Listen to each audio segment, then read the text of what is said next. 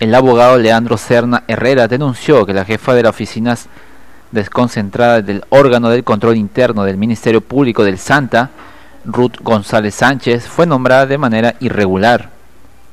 Indicó que el fiscal de la Nación, José Peláez Pardales, designó en el 2012 a la magistrada González por recomendación del fiscal supremo del órgano de control interno Carlos Ramos, aun cuando no cumplía con los requisitos para asumir el cargo pues no era la fiscal más antigua del Ministerio Público del Santa y no tenía la condición de fiscal titular, sino la provisional. Contra la Constitución y contra el mismo decreto legislativo 052 y la doctora por asumir un cargo público que no le correspondía. Y además la doctora debe ser investigada porque no ha investigado los casos de los fiscales que archivaron este, eh, eh, las investigaciones de funcionarios del gobierno regional, incluido César Álvarez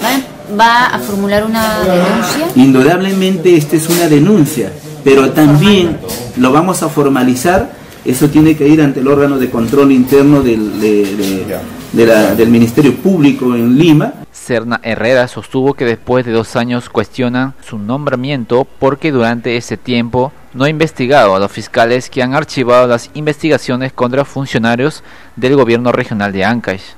Asimismo lo vamos a sustentar acá el día 7, porque eso tenemos, tiene que conocer la opinión pública, que así se ha manejado la justicia, así se viene manejando este, el Ministerio Público y porque